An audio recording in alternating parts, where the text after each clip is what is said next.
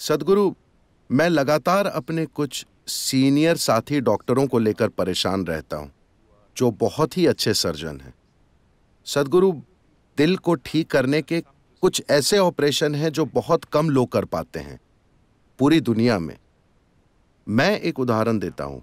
मैं एक ऑपरेशन करता हूँ जिसे पल्मनरी एंडायरेक्टेरेक्टोमी कहते हैं।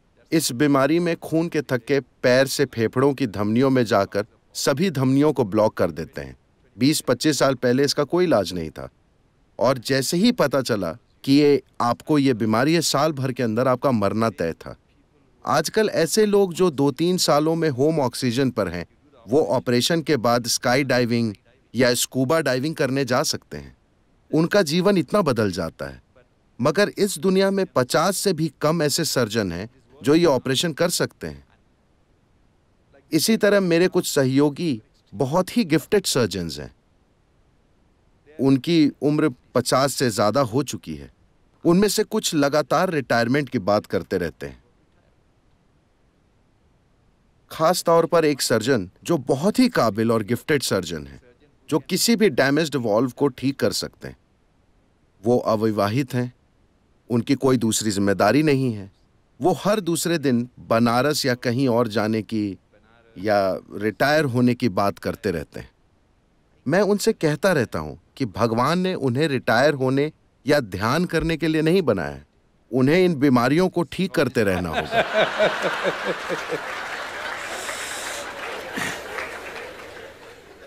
तो गुरुजी वो हर छह महीने में मुझे एक्सटेंशन देते रहते हैं। छह महीने बीतते बीतते उनका वही अलाप शुरू हो जाता है। वो रिटायरमेंट की बात करने लगते हैं और अस्पताल में हर कोई निराश हो जाता है।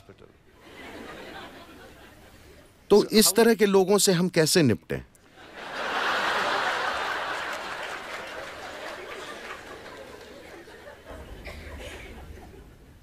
आप आप उन्हें छुट्टी पर एक साल के लिए मेरे पास भेज दीजिए। हाँ। क्योंकि किसी को रिटायरमेंट की ज़रूरत इसलिए महसूस होती है क्योंकि उसके काम में नीरसता आने लगती है। वो कुछ भी हो। किसी और को लगता है कि ये बहुत बड़ा काम है लेकिन आपके अनुभव में ये कहीं ना कहीं नीरस हो गया है। या ठहराव आ गया है।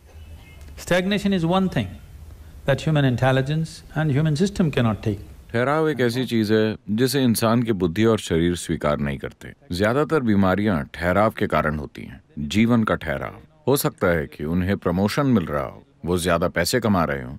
ये सब हो सकता है, मगर अनुभव के स्तर पर एक ठहराव है, जो मुख्य वजह हो सकती है उन कई जटिल बीमारियों की, जिसे लोग अपने शरीर में पैदा करते हैं। जैसे जैसे बीमारियाँ जटिल होती जाती हैं, आप और भी ज़्यादा टैलेंटेड सर्जन्स बनाने की कोशिश करते हैं। हम समस्याओं को पैदा कर रहे हैं, फिर उनका हल ढूँढने की कोशिश कर रहे हैं। जो लोग समस्याओं में पड़ चुके हैं, उन्हें समाधान की ज़रूरत है। लेकिन लोगों को यह सिखाना बहुत ज़रूरी है कि वो कैसे इन समस्याओं को पैदा ना करें।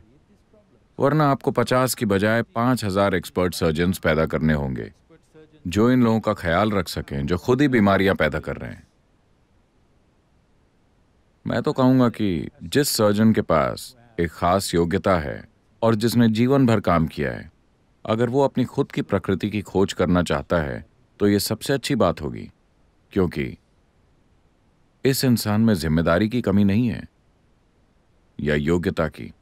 अगर योग्यता और ज़िम्मेदारी है तो आपको उनसे रोज रोज वही काम करवाकर उस संभावना को नष्ट नहीं करना चाहिए। यह महत्वपूर्ण है कि वो अपनी खुद की प्रकृति को खोजें। जो कि उन्हें पता नहीं कि वो क्या खोज लेंगे। आप अंदाज़ा भी नहीं लगा सकते कि वो क्या पा सकते हैं। मेरे ख्याल से थोड़े दिनों की छुट्टी अच्छी होगी। वो कुछ ऐसा भी कर सकते हैं जिसकी आपने कल्पना भी न की हो।